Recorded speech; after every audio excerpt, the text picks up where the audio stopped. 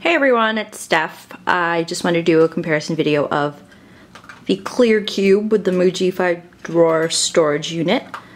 I ordered these two on March 2nd and they arrived on March 14th so it took about two weeks. My dog's eating his food in my room so if you hear crunching that's him.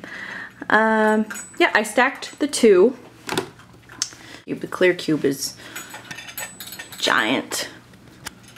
Let me move it down so you can see what one looks like. There's, that's how small it looks. And the drawers just open like this.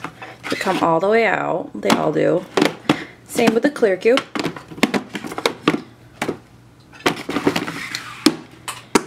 It's not as high quality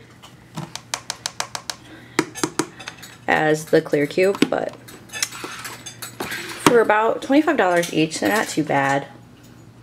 Shipping was, I think, $10.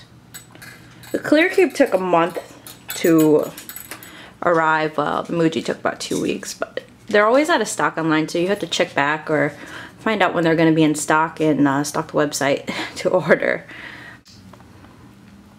So yep, just a quick video to show you what it looks like.